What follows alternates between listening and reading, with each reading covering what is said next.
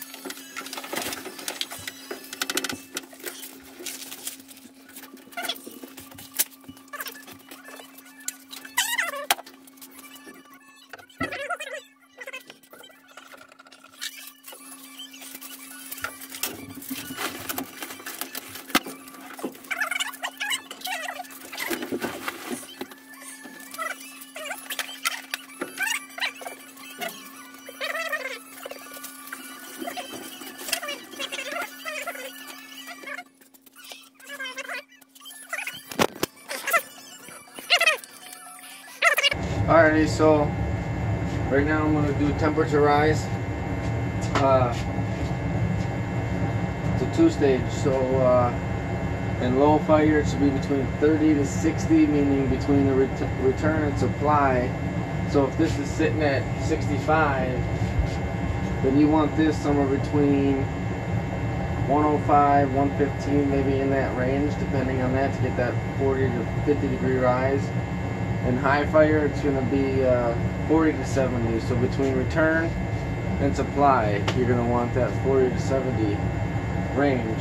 That way we know if we have to adjust the fan speed on the blower motor, making sure the furnace isn't running too hot, no cracked heat exchangers.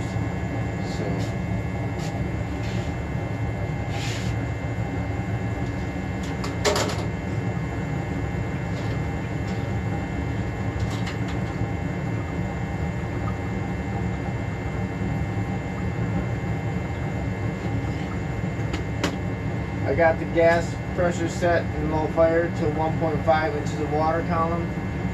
When it kicks into high fire, or if I jump it into high fire, if the stat doesn't do it on its own, then uh, you want it at three and a half inches of water column. And this is sitting at about 58. So let's go ahead and go into the supply here. But now you never want to take the temperature right above the indoor coil. You want to try to get it off somewhere you have a good spot.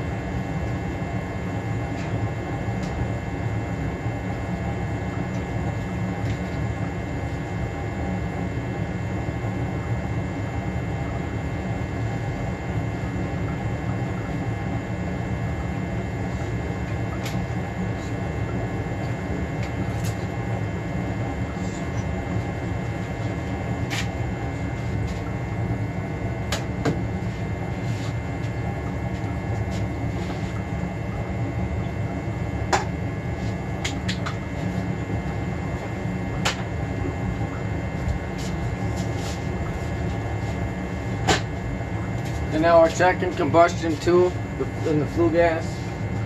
You want it at least under 100 parts per million.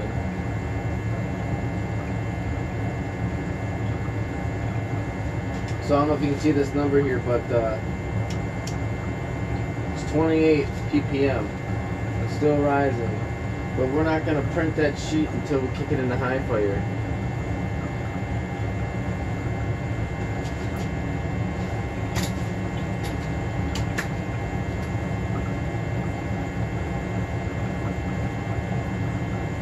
So right now we're at a 30 between the return and the supply. It was at 58 for the return and we're sitting at about 90 right now for the supply. So we're at about 32 degrees. And like I said, it can be between 30 and 60.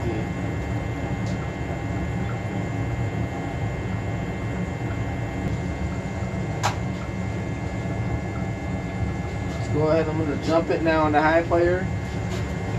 So to do that, you're gonna want to get a pair of jumpers, alligator clips.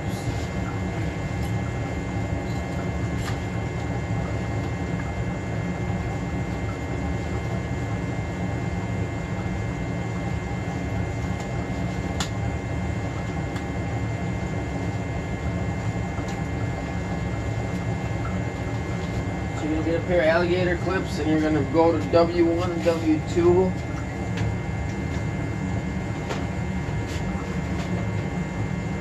That's gonna kick it into high fire here for the heat, so we're gonna go W1. And Then we're gonna jump that on to W2 and you're gonna hear it going to high fire.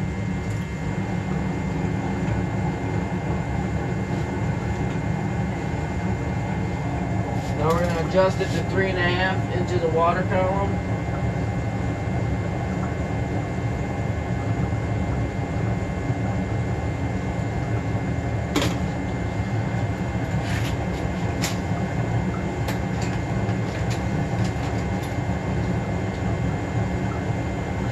go ahead and check this here.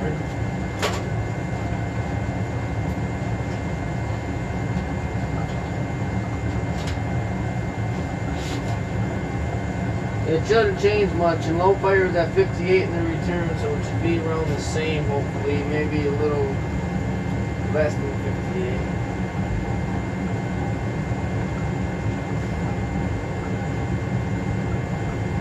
We can go ahead and print this, that's good.